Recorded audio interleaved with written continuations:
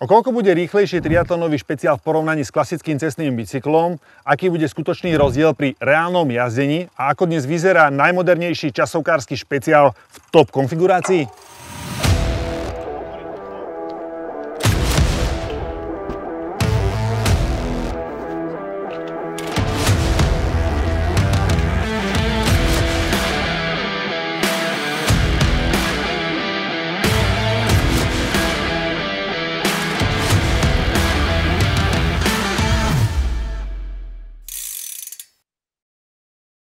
Poďme ukončiť nekonečné debaty triatlonistov a časovkárov, ktorí sa do nekonečna dohadujú, o koľko by boli rýchlejší, ak by pretekali nie na obyčajnom cestnom bicykli, ale mali by doma takýto triatlonový alebo časovkársky špeciál. Testovať budem na svojom 8-kilometrovom okruhu. Vy už si teraz môžete typnúť, či bude rozdiel 10, 30 sekúnd, minúta alebo dokonca viacej. Dnešné video bude špeciálne z viacerých dôvodov. Nespomínam si, že by sme niekedy mali vo videu drahší bike. Tento model BMC Speed Machine 01 LTD mám požičaný priamo zo Švajčiarska a keď si pozriete web Original BMC, tak jeho ceníková cena je neskutočných 16 999 eur. Ďalšia vynimočná vec je, že si ozaj nespomínam, že by sa niekedy na MT Bikery objavil pod drobnohľadom časovkársky alebo triatlonový špeciál všeobecne a tým, že ja jazdu proti času tiež obľúbujem, obľúbujem a doma mám tiež svoj vlastný časovkársky špeciál, tak na toto natáčanie sa teším o to viacej. Pravidelní diváci určite už teraz tušia a vedia, kde podobné testovacie videá natáčam. Kto ešte žiadne nevidel, tak mu určite odporúčam, aby dal odber na YouTube kanál MT Biker SK. Bez odberu sa ani nečudujem, že mu mohlo uniknúť video, kde som porovnával, aké reálne rozdiely robí aero oblečenie alebo aeropozícia jazdca a takisto som testoval, či sa oplatí na svoj bicykel dať lepšie cestné plášte, či sú tam reálne reálne nejaké zaujímavé rozdiely, alebo či to je celé len marketing. Dnes proti sebe postavím svoj cestiak, na ktorom už mám ozaj kopec odjazdené. Je to model BMC Team Machine. Je to vlastne tiež e, top špecifikácia, takže to porovnanie bude spravodlivé. A táto raketa, už som ju predstavil, nie je to len triatlonový špeciál, ale je to aj časovkársky špeciál. Tento rám je UCI legálny a kebyže na ňom pomeníte zo pár drobností, ktoré sa dajú priamo od BMC objednať, tak normálne môžete na ňom chodiť oficiálne časovky majstrovstva Slovenska, majstrovstva sveta.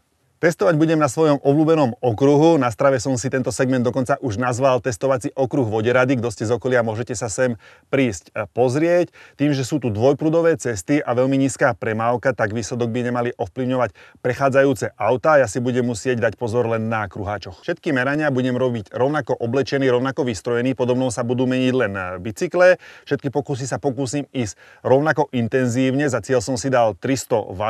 Aby to meranie bolo čo najpresnejšie, tak na bajku vlastne budem meniť váhu powermeter pedále, aby mi výsledok e, neovplyvnili iné meracie powermeter zariadenia. Toľko základné informácie, kým sa budete pozerať, ako prebiehali moje pokusy. Určite si viacej pozornosti zaslúži tento model BMC Speed Machine 01 LTD. Základná informácia vznikal v spolupráci s Red Bull Racing a už na prvý pohľade vidieť, ako dnes vyzerá časovkársky triatlónový špeciál.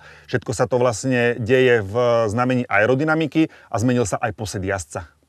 Tým, že sa na časovke a triatlóne častokrát ide cez 40 km za hodinu, tak aby ten vzduch čo najlepšie obtekal, na moderných špeciáloch je typická takáto širšia rozkročená predná vidlica. Tie nohy potom fungujú ako rozrážanie pre vzduch, ktorý lepšie obteká okolo nôh cyklistu. Prvok, ktorý sa začal objavovať už aj na cestných bicykloch, je táto sploštená hlavová rúrka, je teda ozaj robustná a opäť teda je to kvôli tomu, aby ten vzduch čo najlepšie obtekal. Všade prítomný je D-tvar, či sedlovky alebo rúriek, toto tiež poznáme z bežných cestiakov. Veľmi nízučko sú podsadené zadné spery rámu a veľmi robustný je aj stred. Čo sa týka špecifikácie na triatlon, tak tam sa s tým posielom dá ísť ešte viacej, môžem o tom povedať nejaké detaily. Rám je UCI legál, na ráme to oznamuje aj nálepka a už podľa toho, či chcete jazdiť triatlon alebo časovky si doladíte detaily. Pokiaľ chcete jazdiť časovky, musíte si ustriehnúť hlavne, ako vpredu je sedlo, ako dlhý je celkový posed. Pokiaľ by ste chceli chodiť časovky, tak si sa môžete doobjednať sedlovku s offsetom a takisto si môžete vymeniť priamo od BMCčka túto flašku, ktorá sa dá napojiť teda aj cez hadičku, cez ktorú sa dá piť počas triatlonu. Dá sa tam vlastne objednať podobne tvarovaná klasická fľaša a takýto storage box napríklad na nárade na opravu defektov môžete jazdiť len pri triatlone. Ako som spomínal, najväčší odpor na bicykli tvorí jazdec samotný, preto sa vyvíja aj geometria rámu. Keď si porovnáte časovkárske špeciály, triatlonové špeciály bola kedy a dnes, tak na prvý pohľad sú tam patrné zmeny. Napríklad môžem spomenúť, táto sedlová rúrka rámu je oveľa kolmejšia. Takisto tie bicykle moderne už nemajú taký veľký drop. Cieľom je, aby ruky v týchto nadstavcoch tvorili s hlavou, s trupom jeden celok a tým sa zlepšilo obtekanie. Ja sa triatlonovému a časokárskému posedu venujem aj v rámci profesionálneho bike fitting eh, merania. Tam musím brať do úvahy všetky tie veci, ktoré som už eh, spomínal. Zo svojich skúseností môžem spomenúť to, že častokrát býva najslabším článkom celej tej reťaze jazdec, ale to by bola teda už téma na samostatné video.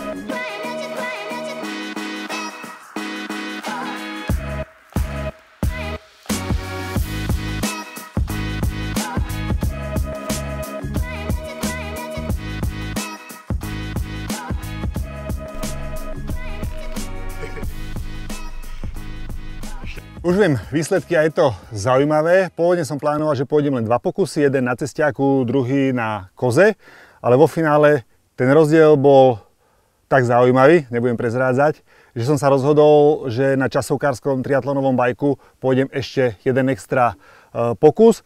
Môžem to zobrať teda postupne, vy ešte si rýchlo teda typujte, hádajte, či ten rozdiel bol, jak som hovoril na začiatku, 10 sekúnd, 30 sekúnd alebo minúta dokonca, ale dokonca aj e, viacej. E, ja teraz ešte predtým, ako poviem e, výsledky, zhodnotím, ako z môjho pohľadu boli regulérne všetky tri pokusy.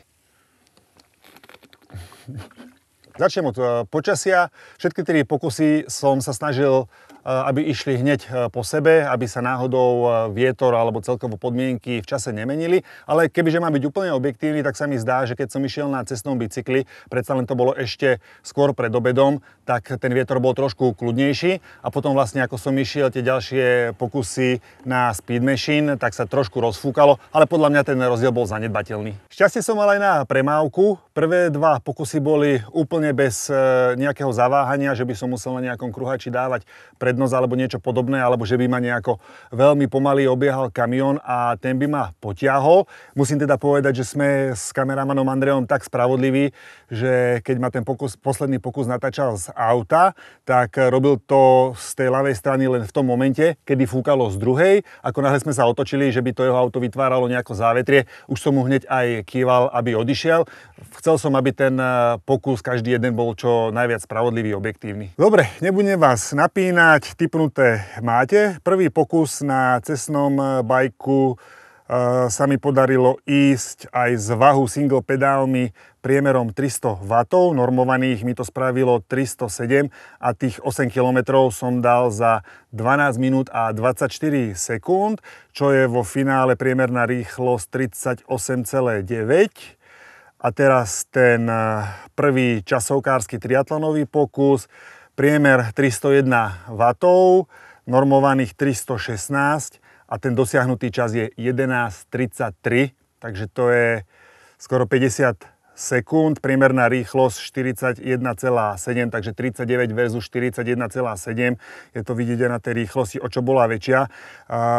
Tým, že tam bolo tých 300 versus 301 priemerných vatov, tak som teda nechcel, aby to vyzeralo, že fandím, nadbieham tomu časovkárskému bajku, tak som si buchol ešte jeden interval, tam sa mi podarilo dosiahnuť priemerné vaty rovných 300, normovaných 309 a čas som mal 11.36. Teraz vlastne, keď si spomínam, tento posledný pokus som tam mal jedno také väčšie pribrzdenie kvôli autu v kruháču, musel som dať prednosť, tak to by mi tak aj vychádzalo, že je tam rozdiel 3 sekundy. No čo som to vlastne dnes e, zistil? No na týchto 8 kilometroch jediná vec, keď sa zmení, je bicykel a tým pádom aj posediasca a celková aerodynamika, tak na 8 kilákoch to spraví, keď to zaokrúhlim 45 sekúnd. Keď sa dopustím ešte ďalšieho zaokrúhlenia, tak na 10 kilákov to kľudne dám, že úspora na triatlonovom časovkárskom bajku je 1 minúta. Takže teoreticky, ale čisto teoreticky a ešte to doplním, by sa dalo počítať, že kebyže idete Ironman, cestný klasický bike versus triatlonový špeciál, tak môžete vlastne len vďaka tomu bicyklu ušetriť 18 minút. Kto ale niekedy na časovkárskom triatlonovom bajku jazdil, tak vie, že nedá sa to brať e, takto jednoducho, nedá sa to úplne takto zjednodušiť. Hlavná príčina je tá, že časokársky posed je oveľa náročnejší. Neznamená to, že si kúpite takýto bike za 17 tisíc a hneď na ňom lietate. E, vyžaduje to tá iná pozícia, iný posed, že budete na tom e, bicykli veľa jazdiť, trénovať a vtedy ste schopní z toho potenciálu e, toho bicykla vyťažiť čo najviac. Opäť ma bude zaujímať, čo si o takomto porovnaní myslíte. Ja viem, že už teraz sa nadýchujete nad klávesnicou a chcete napísať, že predsa na klasický cestiach si môžem dať nadstavce, ale nie je to také jednoduché, ako to bývalo v minulosti, kedy každý ten eh, kokpit tie eh, barany boli väčšinou hliníkové s kruhovým priemerom, ale akože uznávam, že takýmto spôsobom by sme sa vedeli podľa mňa medzi tie dva dnes dosiahnuté časy dostať. Pokiaľ by ste si chceli kúpiť takýto časokársky triatlonový špeciál, tak kľudne pozrite u nás na MT Biker shope v kategórii cestné bicykle. Zistíte, že takýchto bajkov tam je ako šafránu, tak možno aj vďaka tomuto videu sa ten dopyt, ten záujem o takéto špecialitky trošku rozbehne. Predsa, ak by ste chceli niečo riešiť, tak najlepšie je napíšte na zákaznícku podporu a my vám teda zistíme, či konkrétny model v konkrétnej veľkosti vieme zohnať. Čaute.